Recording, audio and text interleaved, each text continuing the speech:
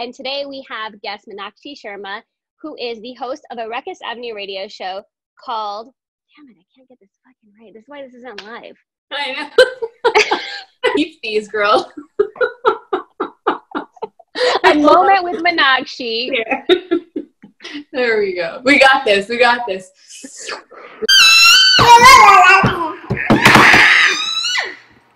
Guys, welcome to another episode of Kicking It with Mama Jotes. I'm here drinking a social and living my best life. And today I have guest Meenakshi Sharma on my show, who is a host of her own show on Ruckus Avenue Radio called A Moment with Meenakshi.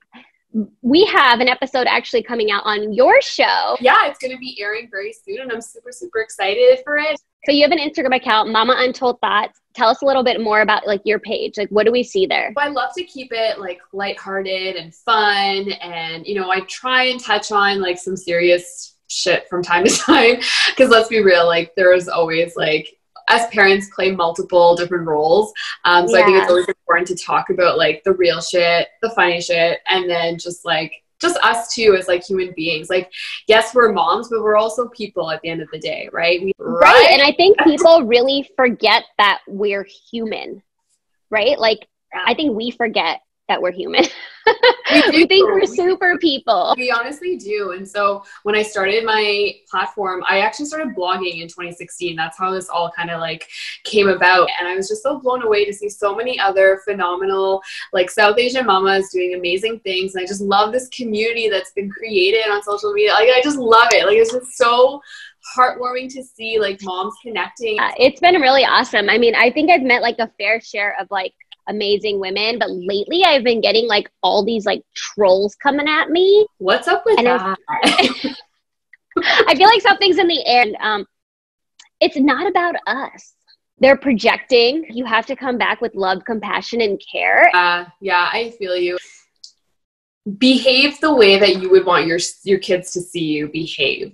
Um, just let them be. Let them be. They have things to say. They want to say things. Let them do it. Let them say it at the end of the day, like I, I always tell myself and I like to tell others that like just remember who you are at your core.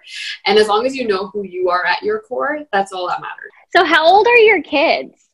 I have a three and a half year old and an eight month old. I feel so bad for my eight month old because like she's been in isolation for literally her whole life because of COVID. Oh so it's like I feel like I missed out on, you know, taking her places, like stop at the Starbucks at the drive-through, pick up a coffee, or, like go and like go to play dates and see other moms. So definitely yeah. missing out on that experience this time around. Okay, so what I really want to know is like you just had a baby.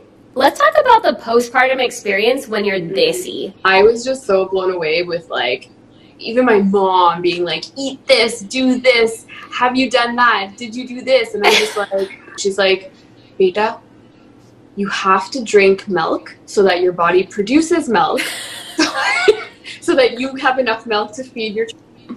And I was right. like, what? Like, where is this coming from? Get this theory from? Like, I have no idea where this theory is coming from. So she would make me this thing called, oh my god, I don't even know if I'm gonna remember how what it's called. Panjiri? Um, Panjiri, yes. That's the shit. I feel like I'm eating like sawdust. Not that I've ever eaten sawdust. You feel like so it's just like, that it shit works. It, it, I wanted to work. bottle it and sell it. Well, for me, it was like I remember my sister in law when she was pregnant. Like this auntie was like, "Baby, eat a little ghee, ghee, eat some ghee, baby will slide out." Yeah, like eat the ghee, baby. I was like, "You need to like surround the ghee in my vag?" or one of the things I didn't expect every time my child cried, my boobs would squirt milk.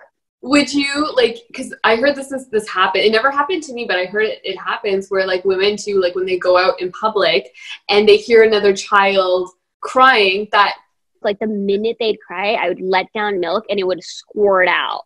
oh my goodness. like if he starts crying, I had to like grab him and like latch him right yeah. away. Don't waste it. Get out. I know. Have you ever cried over spilt milk? Oh my it's god. It's like literal tears. Like I can cry thinking about it right now.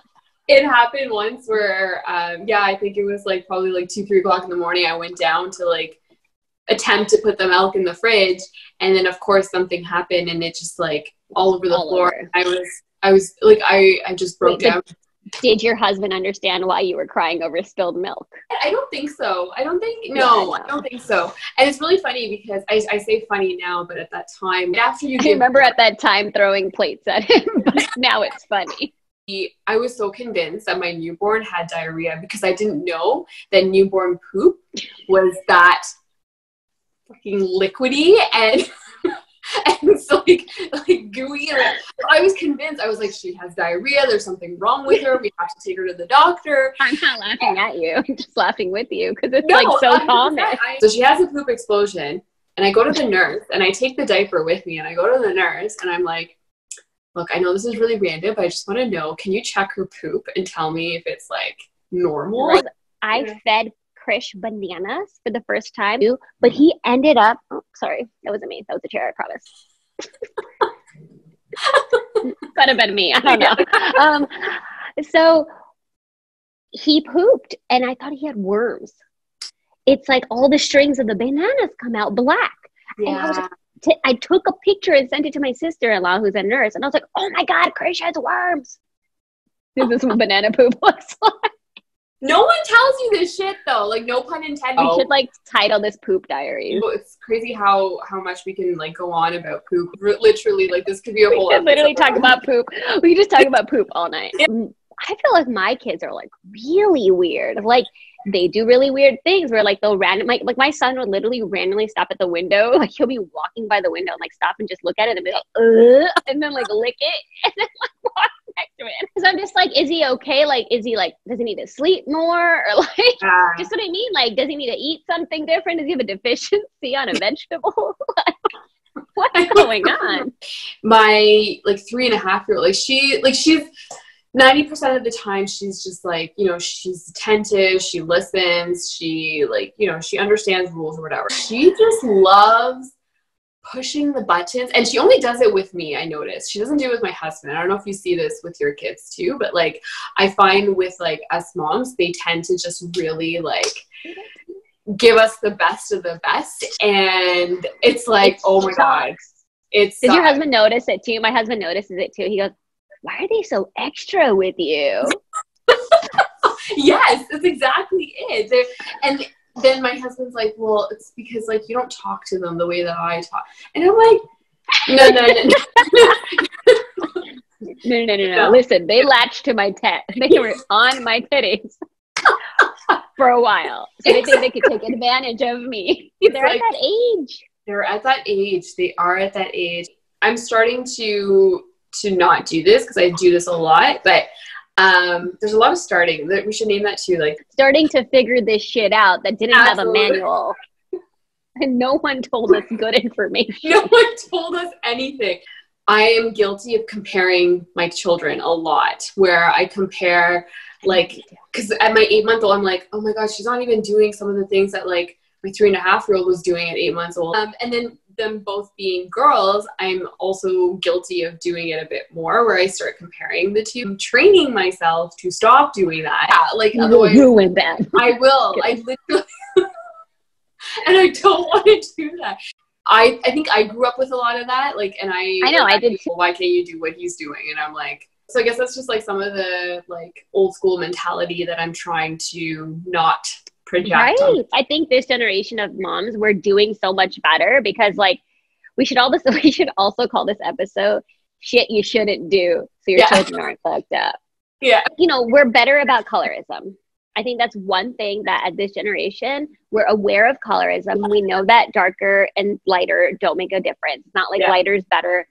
We learned to stop using the word fair. And it was like always comparable to like you're too dark to find a husband. Yes. It was like always like that. all the time. I always felt like I was like paving the way for my brother. I had to fight to like take the car out. I had to fight to like stay out past like one o'clock in the morning or whatever the case was. Yeah. But then the second my brother hit those that you know those prime years, it was just like free for all. It was like yeah yeah he's out. He shows up at two three o'clock in the morning, and I'm like what the fuck. I used to like I used to not use my brother, but I used to be like um, like if we were going to like a party or whatever, I'd always tell my mom like, oh yeah, but like you know my brother like bro's gonna be there or whatever. So like, you know, it's all fine. We'll all be together, right? So Don't worry, we're all together, so we're We're- cool. We're all up to no good. we're really up to no good. Oh my god, this shit that yeah. It's gonna bite us in the ass so hard when our girls and our boys and our kids or whatever are going to get into their teenage years. And I think you and I resonate when we were we could say that we were bad teenagers in the eyes of our parents, that shit they don't know, which Yeah. is fine, and they shall never know. Oh, Um, I feel like it's gonna bite us in the ass.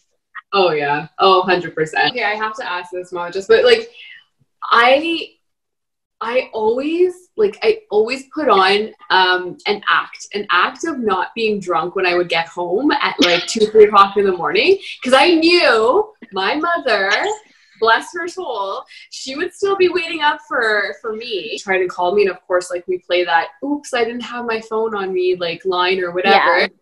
And then, like, there were a couple of instances where I'd open the door at three o'clock in the morning and she would be sitting at the stairs, and I'm like pissed drunk. and you just have to put on that, like Hey, mom. Hey, like yeah, mom. I, I was just gonna get my laundry. and she's just looking at me like, we're tired. I'm just, I'm gonna go to bed. We'll talk in the morning. Like, we'll just talk in the morning. Like, that was always the thing. I know it's gonna bite us in the ass for sure. Like you said, I know it's going to happen. This was fun. Mm-hmm. It was fun. Mm-hmm. Thank you so much for being on the show. It was awesome having you.